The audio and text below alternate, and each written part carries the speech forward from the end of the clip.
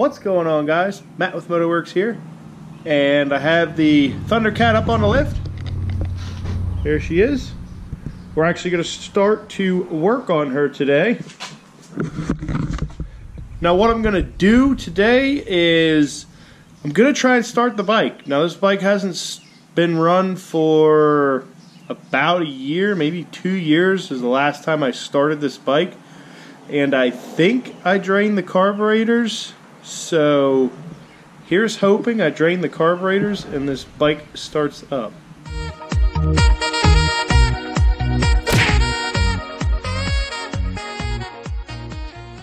To get started on this bike, I have to first pull the gas tank off, and none of this stuff's bolted down on this because when I stopped working on this, I kind of just left it as it was. Um, so everything's kind of loosely on here. Now I got to replace the fuel hose that goes to the gas tank and we'll go over that here in a minute but the very first thing I want to do is see if I did indeed drain the carburetors or not and that'll really dictate how today goes. So again I'm going to pull the tank off and I'll get in there and I'll show you what I'm talking about. Now down in here these four things here are the carburetors for this bike. They're what deliver fuel to the engine. Uh, and one thing that you need to keep in mind when you're putting your bike away for storage, you need to drain these. Now, to drain those, you just take a screwdriver or an Allen socket, whatever the drain screw is. If I did drain it, there shouldn't be any fuel, so hopefully we're good to go.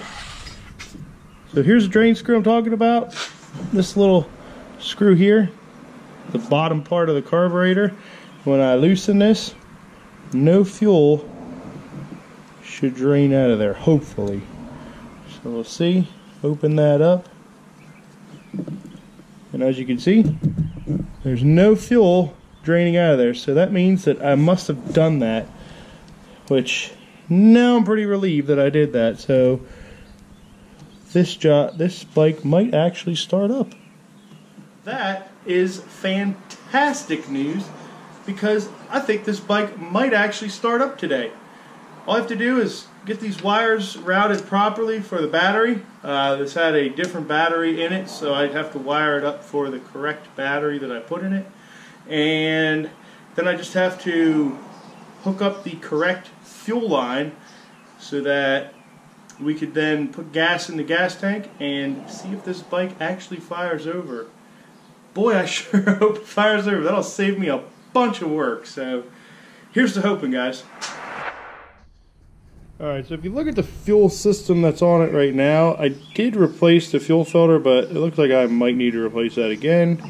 The problem I had with this before is when I had the tank full of fuel, I would come back out the next day and the floor would be completely covered in fuel because these hoses were are swollen and when gas would actually coat the inside of these hoses they would swell up enough that they would leak. And as you can see they're not really held together the best. They got um, kind of wire tied together, if you could see that, or safety wired together. So I'm going to show you what I did to solve this issue. And I bought all OEM fuel line. Now the reason why I bought all OEM is because the OEM stuff is actually made to uh, a higher quality than some of that stuff you can get at the hardware store. And I think that's what the issue was on the old hoses. I think in some spots they used um, fuel hose that wasn't OEM, or even if it was OEM, the OEM stuff should be replaced really every every four years. Um, and this bike is in '97, so um, what happens is, especially with ethanol fuels, it, the ethanol uh, fuel gets inside these hoses, and there is some type of a coating on the inside of this hose, and by pulling these on and off a bunch of times, you end up ripping that coating, and that gas with the ethanol soaks into this rubber and makes it very pliable so that even if you do have it clamped down, it still has a tendency of leaking, and that's what I was running into on mine. So I just said instead of going to the hardware store trying to make something work, I just went to the Yamaha, got all this stuff. It was pricey. Uh, I think it's worth it, um, especially because this stuff is pre-bent. It's really hard to do this with uh, regular hose. Uh, you end up kinking this fuel this fuel line, and then you run into other issues down the road because of it. So I'm gonna go and install this stuff now, and then we'll take a look and see what it looks like.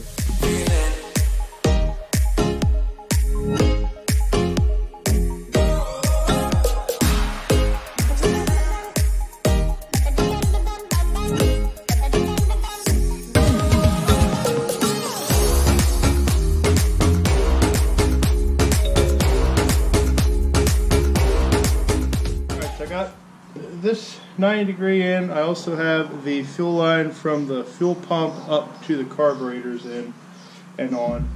And if you're watching the video, you see there's two hoses that I missed, two rubber lines that I missed.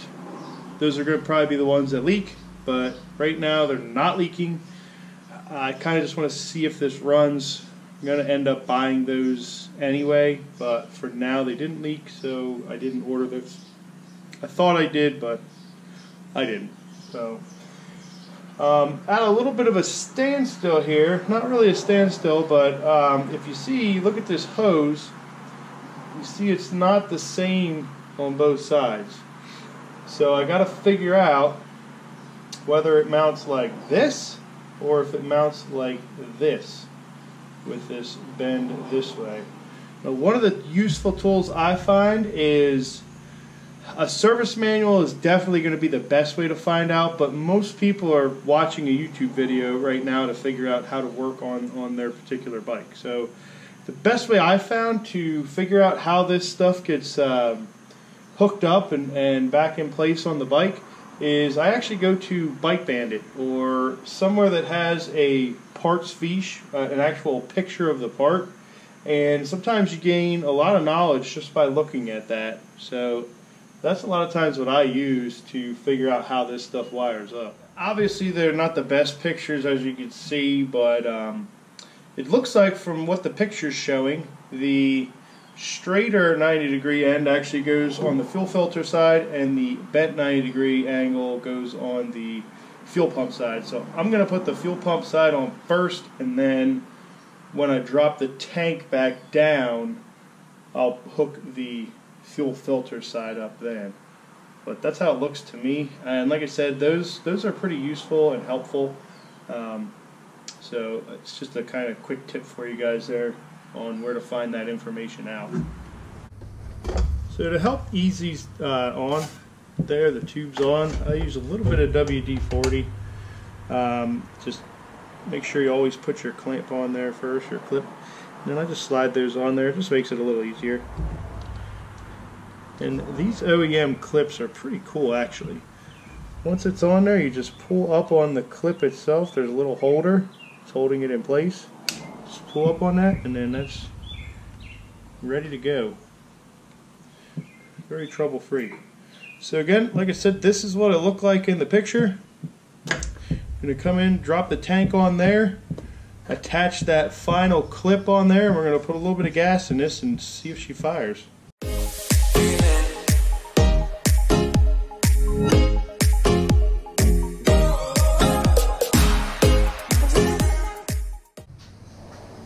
Alright guys, got me some lawnmower gas here. Again, this just to test it out, see if she works. Can worry about high test gasoline later. Just got to get enough gas. Whoo, that stinks. Oh man, whatever's in there is stinky. And now it starts to smell like gas again. But we're going to see she's either going to start or we're back to the drawing board. Alright, there's the gas in it. Moment of truth.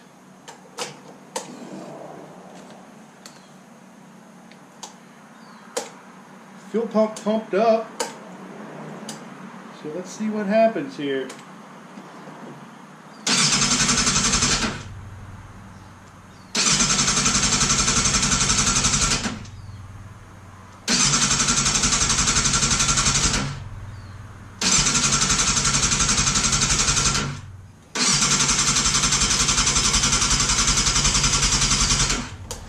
Oh, battery dying. Let's get the jump pack.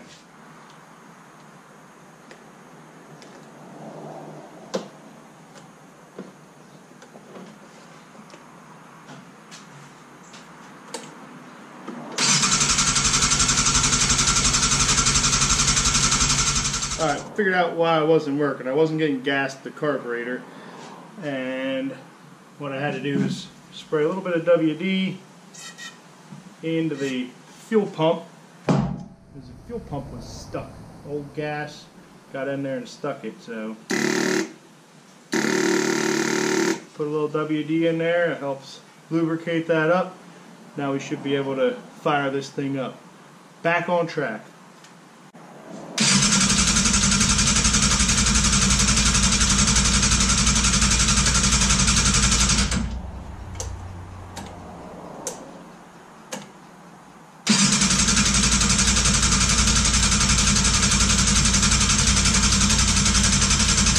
Alrighty guys, moment of truth time.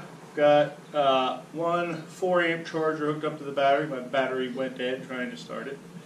But here we go. If it doesn't start now, then I guess the next video we have is going to be how to make this son of a gun start.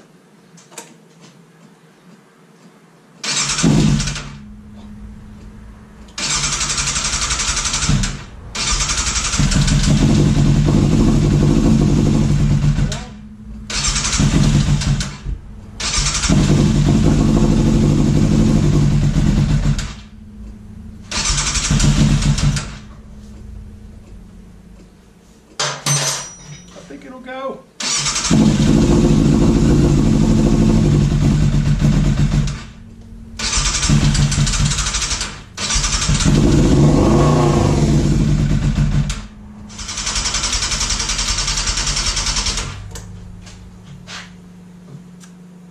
So I think we got a couple of issues going on here.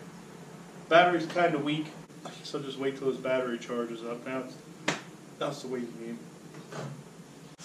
Well, guys, I started to pack up for the night, and I figured I'd give it one last try. And well, this is what I got.